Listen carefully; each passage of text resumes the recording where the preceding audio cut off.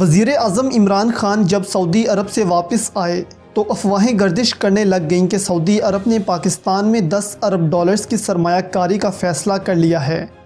لیکن اب وزیر خزانہ اسد عمر نے ان تمام باتوں کو رد کر دیا ہے۔ وزیر خزانہ اسد عمر نے ایک عرب ٹی وی کو انٹرویو دیا ہے۔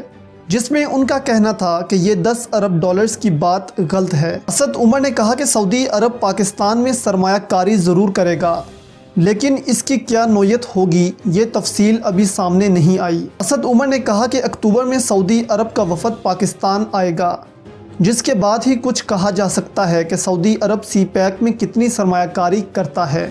اسد عمر نے کہا کہ یہ سرمایہ کاری دس ارب ڈالر سے زیادہ بھی ہو سکتی ہے اور کم بھی۔ لیکن یہ طے ہے کہ سعودی عرب اچھی سرمایہ کاری پاکستان لائے گا۔ لیکن کتنی یہ اکتوبر کے بعد ہی معلوم ہو سکے گا جب سعودی وفد پاکستان آئے گا۔